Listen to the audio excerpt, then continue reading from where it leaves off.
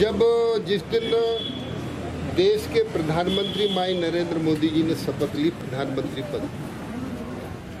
और उस शपथ को लेकर जब संसद गए तो संसद को देश का पवित्र मंदिर मानकर साष्टांग प्रणाम किया, और उस प्रणाम में कहा, हे संसद, हे मंदिर, कानून के,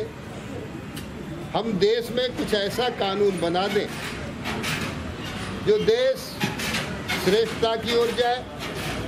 एकता और अखंडता की ओर जाए, और अखंड भारत का चित्र सामने प्रस्तुत हो जाए। ये उन्होंने संकल्प लिया, उन्होंने याद किया, पंडित दीनदयाल उपाध्याय को,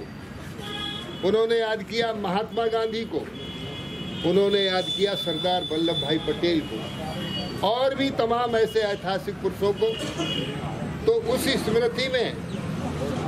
हम तो सोचते हैं कि सच में सभी, चाहे महात्मा गांधी हो, चाहे दीनदयाल उपाध्याय हो, सरदार वल्लभ भाई पटेल हो, ये सबका अंश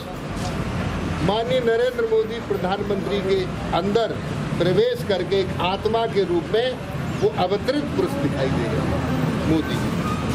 और आज जो कार्य हो रहा है ये बहुत वास्तव में ऐतिहासिक कार्य कार्य है। जब देश के प्रधानमंत्री पंडित जवाहरलाल नेहरू बने हमारे देश की सीमाएँ चीन ने दबा ली जवाहरलाल नेहरू ने कहा, ये अनुपजाऊ भूमि है, इसमें कुछ पैदा होता नहीं, कंकड़ पत्थर है, चले जाते लेकिन मोदी जी ने कहा